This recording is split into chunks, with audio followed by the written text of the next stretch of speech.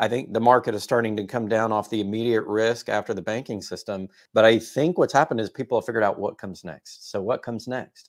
Well, if you look at all the stuff that's been happening, the, the Belt and Road Initiative, the BRICS, the alternative currencies, the alternative, uh, you know, the supranational currency uh, between China and Russia, Russia backing uh, its ruble or limiting it with gold and, and using it to facilitate its oil trade. Uh, Russia banning SWIFT now for domestic banking transactions, still in it for international, so they can be a part of that international system. But domestically, they are going to rely on their own system plus blockchain. You can see its de-dollarization, and you can literally see as we sit here and watch the news, as as you guys sit here and watch this video, the entire dollar system is unraveling right before our eyeballs. The dollar system is falling apart right now, and it's manifesting in many different ways. It's manifesting in the fact that our bonds are not worth what they used to be because of higher interest rates, and that's crashing